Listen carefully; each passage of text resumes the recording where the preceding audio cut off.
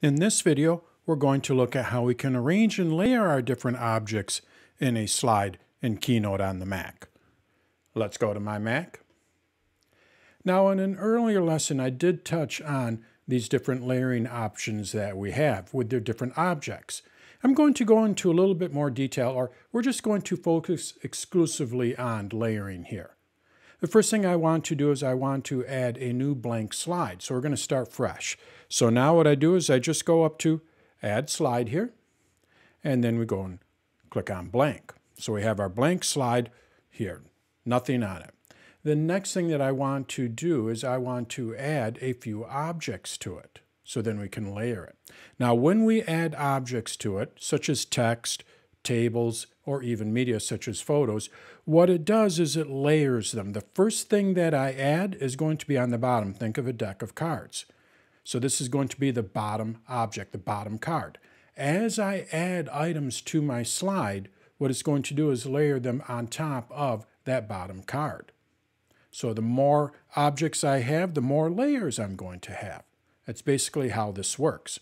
Now, before I go and add an object, what I'm going to do is go up to View here, and what I like to do is show my object list.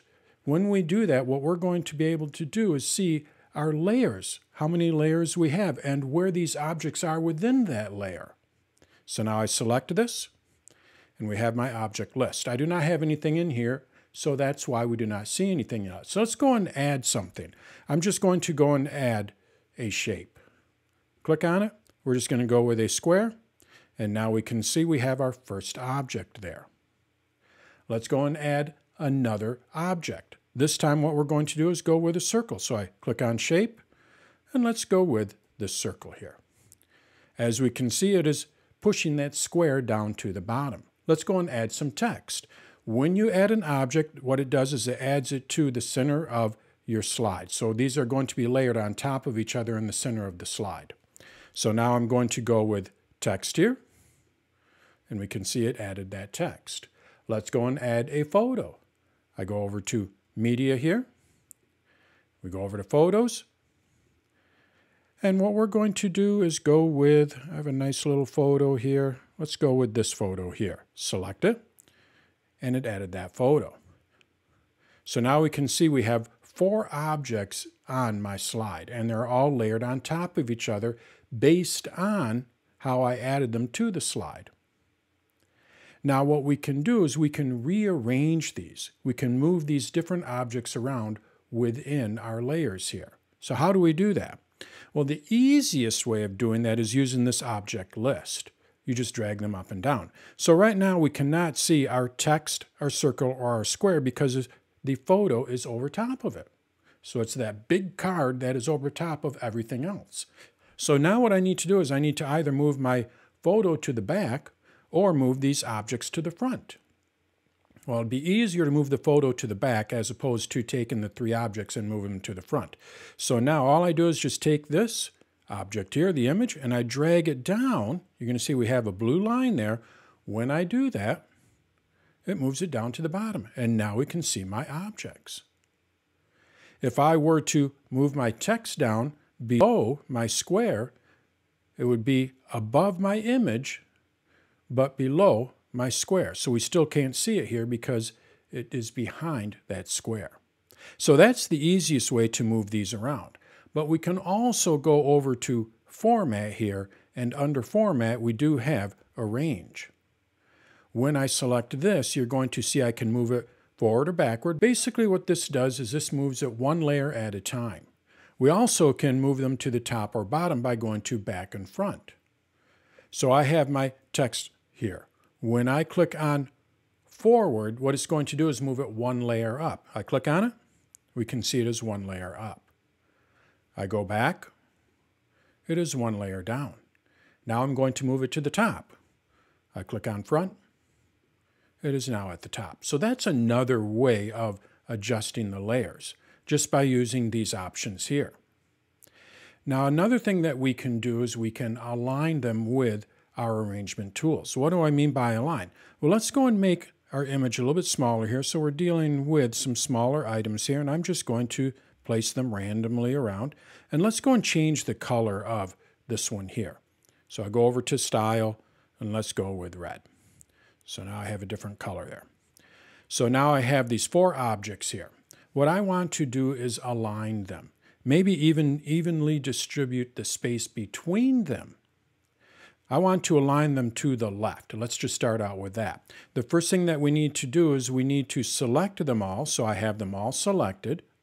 And then we go over to align here, and you're going to see that I can align it to the left, center, or right, or top, middle, or bottom. So we're going to arrange it to the left, or align it to the left. I select left, and now you can see that all of their left edges are lined up. What do you think is going to happen when I say align to the right? It's going to align their right edges. And then if we go to center, it's going to align them in the center. We can do the same thing with top and bottom. I'm going to move these around here a little bit again, and we select them all. And now if I go to align, what I'm able to do is align them by the bottom ed edges. Select it, and you can see they're all aligned by the bottom edges. We can also evenly distribute the space.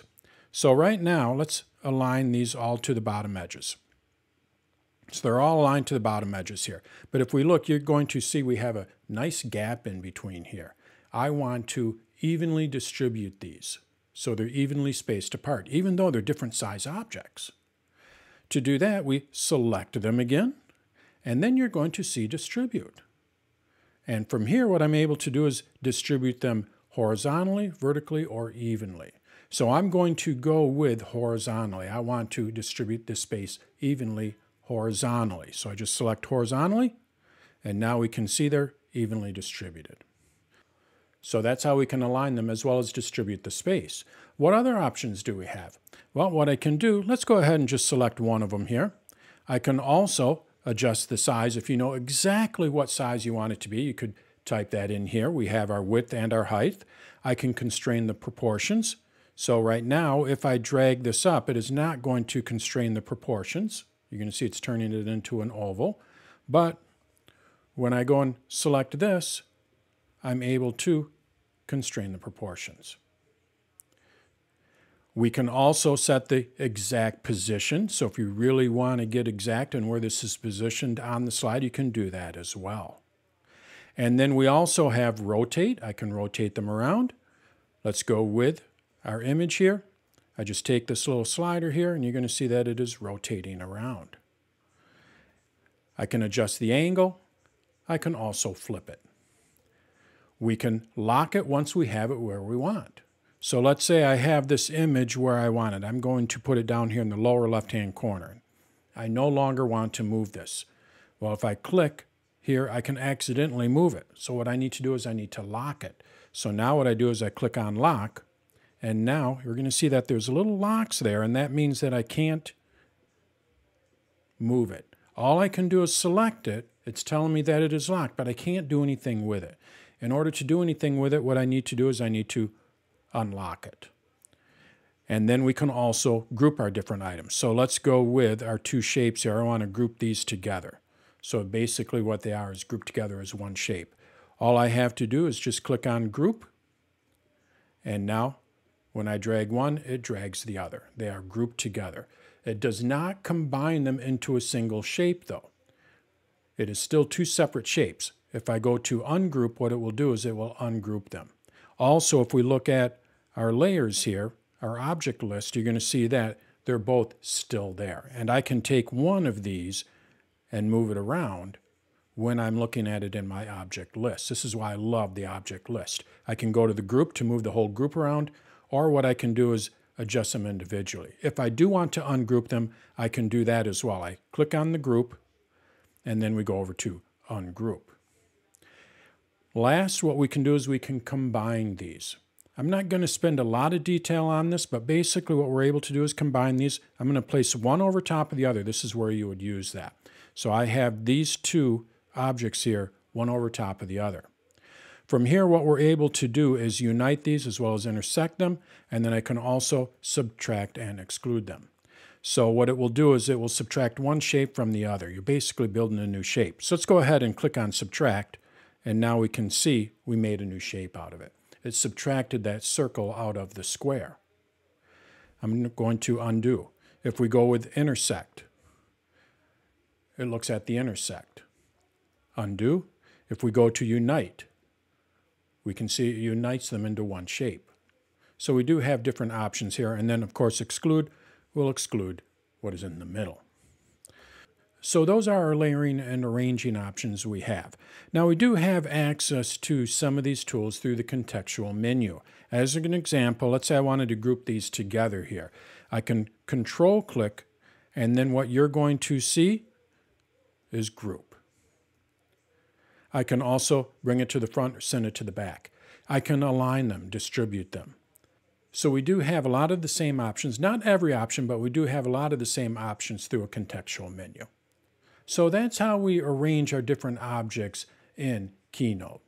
Basically what we're able to do is adjust how they are layered in our slide. Think of a deck of cards. You can adjust where that card or a specific card, a specific object is within all of those other cards. We can also align the edges of multiple objects and what we can do is distribute the space between those different objects that we have selected. We can fine tune the position, we can rotate them, we can lock them, we can group them, and then we can also combine different objects together. This is all found under Format and Arrange, and then you can also use contextual menus for a lot of these options.